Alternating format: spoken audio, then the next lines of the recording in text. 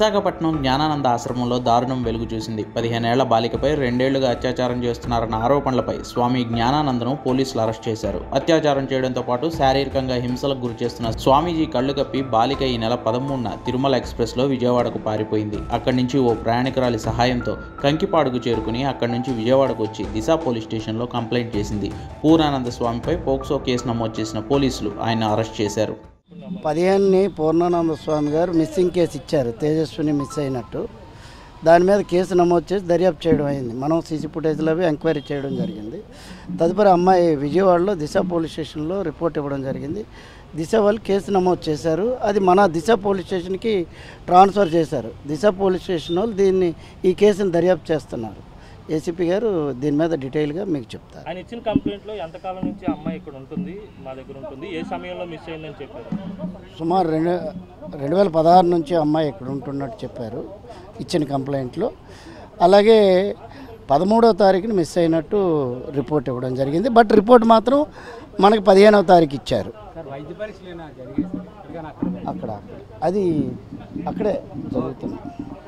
Sir ఇప్పుడు ఈ అమ్మాయి తిరుమల ఎక్స్ప్రెస్లో ఏ విధంగా పారిపోయిందని చెప్పారు పారిపోయి అక్కడి నుంచి అక్కడికి వెళ్ళి తిరుమల ఎక్స్ప్రెస్ ఎక్కి అక్కడి నుంచి తాడిపత్రి వెళ్ళాలని ఏ విధంగా ఆధారాలు అవన్నీ చూస్తున్నారు. ఇన్వెస్టిగేషన్లో పార్ట్ అండ్ పార్ట్ మరి ఇంకా మా వరకు ఈ ప్రస్తుతానికి దర్యాప్తు ఇది. కంప్లైంట్ ఇచ్చిన తర్వాత మీరు ఏమైనా గాలింపు చేశారా? ఆ చేసాం చేసామండి మన ఏరియాలో ఎక్- ఎక్కడ ఉంటారన్నది వెరిఫై చేసాం.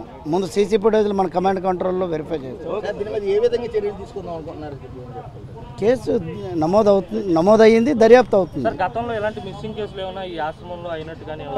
నా అంటే ఈ నా నేను వచ్చాక నాకు తెలిసాక లేవు. గతంలో పదిహేను వందల మంది పిల్లలు ఇక్కడ హాస్టల్లోనే ఉండేవారు. ఇప్పుడు కనీసం కేవలం నూట ఇరవై మంది ఉన్నారని చెప్పి చాలా మటుకు ఆరోపణలు వాళ్ళు పదిహేనవ తారీఖు. పూర్ణానంద స్వామి గారు ఇచ్చారు పంపించారు. రిపోర్ట్లో అమ్మాయి మిస్ తేజస్విని మిస్ అయినట్టు కనిపించినట్టు ఇచ్చారు. ఇచ్చిన దాన్ని మనం దర్యాప్తు చేస్తాం. సీసీ కెమెరాలు చూసి చూడడం జరిగింది ఇక్కడ. మనకి ఇక్కడ ఆ రోజు కనిపించకపోవడంతో ఎక్కడికి వెళ్ళి ఉంటుంది అనేది ఇక్కడికి వచ్చి కూడా మన ఆశ్రమంలో కూడా చాలా వరకు దర్యాప్తు చేశారు. కొన్ని వాళ్ళ విలేజ్ అదే నేటివ్ ప్లేస్ వెళ్దాం అనుకునేలోగా ఆవిడ అక్కడ విజయవాడలో ఉండడం జరిగింది.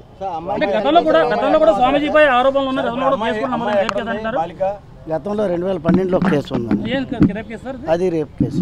బాలిక ఎక్కడుంది సార్ ప్రస్తుతం? విజయవాడ. విజయవాడ ఏ- ఎక్కడ ఆసుపత్రిలోనా? అంటే ఇప్పుడు ఏంటి సార్ ఆ కేసు అక్కడ నుంచి ట్రాన్స్ఫర్ అయింది సార్ ఎలా దర్యాప్తు చేస్తున్నారు ఎవరు దర్యాప్తు చేస్తున్నారు? దిశ వాళ్ళు దర్యాప్తు చేస్తున్నారండి. అక్కడ కేసు నమోదు చేయడం జరిగింది దిశలో మన విశాఖపట్నం. సార్. ఆ బాలిక వాళ్ళు సార్? లేదు. Thank you.